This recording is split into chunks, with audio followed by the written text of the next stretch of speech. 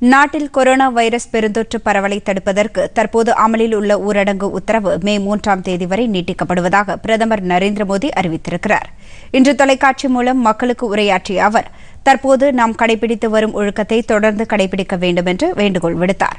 நாடு முழுவதும் ஏப்ரல் இருபதாம் தேதி வரை ஒவ்வொரு மாநிலத்திலும் ஊரடங்கை நடைமுறைப்படுத்துவதை எந்த அளவிற்கு பின்பற்றுகின்றனர் என்பது மதிப்பீடு செய்யப்படும் என்றும் அவர் கூறினார்.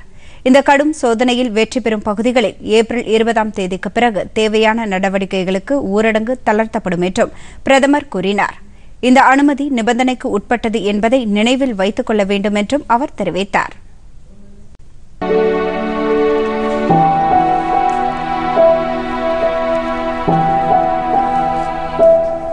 உலக நாடுகளை அச்சுறுத்தி வரும் கொரோனா வைரஸ் தடுப்பு நடவடிக்கையாக இந்தியாவில் அறிவிக்கப்பட்ட இருபத்தோரு நாள் ஊரடங்கு இன்றுடன் நிறைவடையவுள்ள நிலையில் பிரதமர் நரேந்திர மோடி இன்று காலை நாட்டு மக்களுக்கு தொலைக்காட்சி மூலம் உரையாற்றினார்.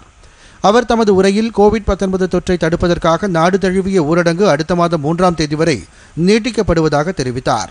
பல்வேறு மாநிலங்கள் மற்றும் பல்வேறு தரப்பினரும் ஊரடங்கை நீட்டிப்பதற்கு ஆதரவு தெரிவித்ததையும் அவர் சுட்டிக்காட்டினார். கொரோனாவுக்கு எதிரான இந்தியாவின் போராட்டம் மிக வலுவான முறையில் சென்று கொண்டிருப்பதாக அவர் கூறினார். இந்த ஊரடங்கால் நம் நாடு மிகப்பெரிய பொருளாதார இழப்பை சந்தித்துள்ளதாக தெரிவித்த பிரதமர் மனித உயிர்களை பாதுகாக்க வேறு வழியில்லை என்றார்.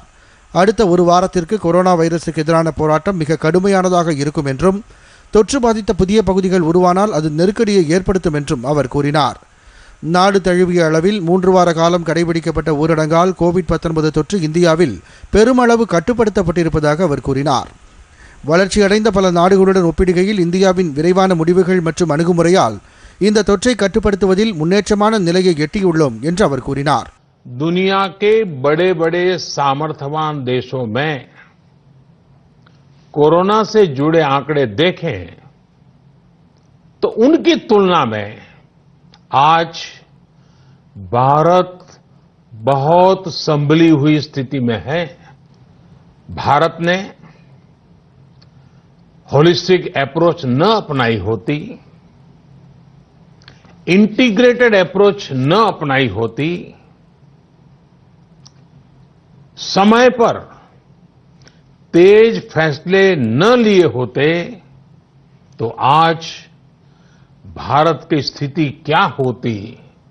लेकिन बीते दिनों के अनुभवों से ये साफ़ है कि हमने जो रास्ता चुना है आज की स्थिति में वही हमारे लिए सही है இந்த தொற்று நோய் மேலும் பரவாமல் இருக்க மத்திய மாநில அரசுகள் பல்வேறு நடவடிக்கைகளை எடுத்து வருவதாகவும் இதை பிற நாடுகளில் உள்ள நிலைமையோடு ஒப்பு நோக்குவது தவறு என்றும் அவர் குறிப்பிட்டார் ஊரடங்கு உத்தரவு தனிநபர் விலகல் உள்ளிட்ட பல நடவடிக்கைகளை உரிய நேரத்தில் எடுக்காமல் இருந்திருந்தால் விளைவுகள் கடுமையாக இருந்திருக்கும் என்றும் அவர் கூறினார் உலக நாடுகளுடன் ஒப்பிடுகையில் கோவிட் 19 தொற்றை கட்டுப்படுத்துவதில் இந்தியா சிறந்து விளங்குவதாகவும் பிரதமர் கூறினார்.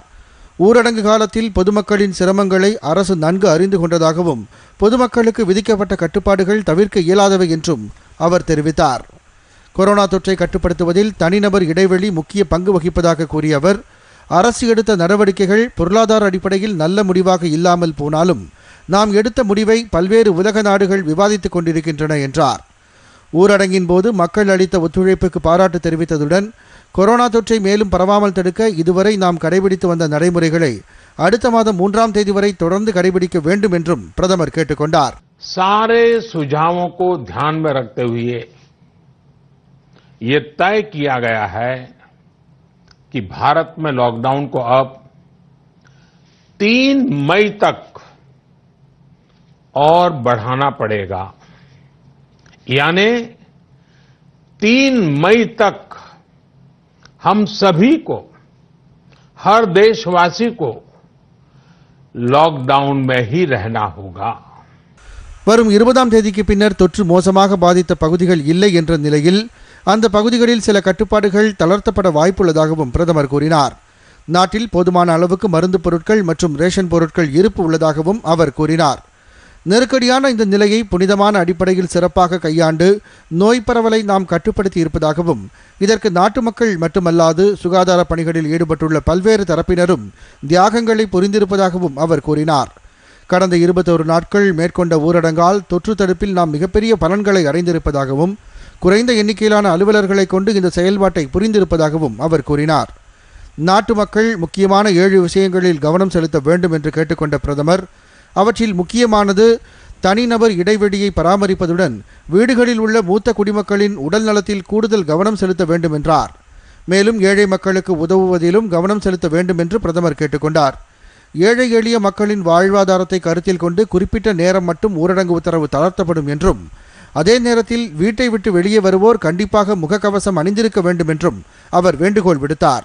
நோய் எதிர்ப்பு சக்தியை அதிகரிக்க ஆயுஷ் அமைச்சகத்தின் வழிகாட்டுதலை கடைபிடிக்க வேண்டும் என்றும் ஆரோக்கிய சேது செயலியை அனைவரும் பதிவிறக்கம் செய்து பயன்படுத்த வேண்டும் என்றும் பிரதமர் கேட்டுக்கொண்டார் अपनी इम्यूनिटी बढ़ाने के लिए आयुष मंत्रालय द्वारा जो निर्देश दिए गए हैं उसका अगर हम पालन करें गर्म पानी है काढ़ा है इनका निरंतर सेवन करें